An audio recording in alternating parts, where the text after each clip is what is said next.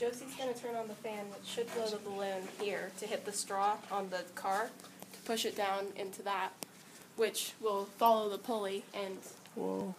um, yank the side of the tube up, making the domino fall out. And the domino is connected to all of those strings, Yeah, that's more. That's are- one of the more unique like wedged underneath wedge the marbles. systems I've ever seen. And then the domino Excuse will me? yank the strings out from underneath those Excuse marbles.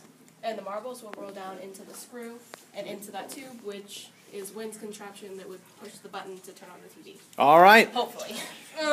turning on the TV whenever you're ready. Set, go. Come on, Winn. Go, go, go, go. Do you want me to send it? No!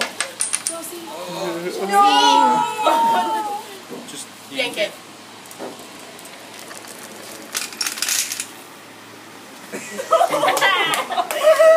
yeah! yeah.